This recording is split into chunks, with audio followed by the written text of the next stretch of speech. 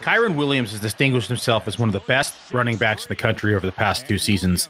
He posted consecutive seasons with over 1,000 rushing yards, 300 receiving yards, and double digit touchdowns. But no one has seen their draft stock plummet more in the last 30 days than Kyren Williams.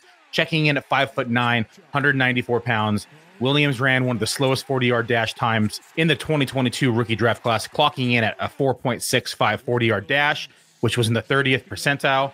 He did improve that time at his pro day, running a 4 5 4 40, but take that with a grain of salt.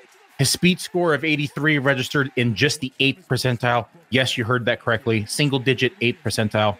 His burst score of 112.4 registered in the 21st percentile, and he only averaged a pedestrian 4.9 yards per carry in college.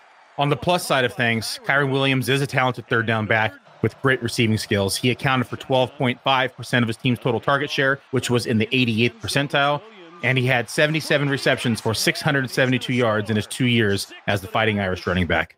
His experience in the passing game gives him a great understanding of protection schemes, and he has a lot of experience running routes out of the slot.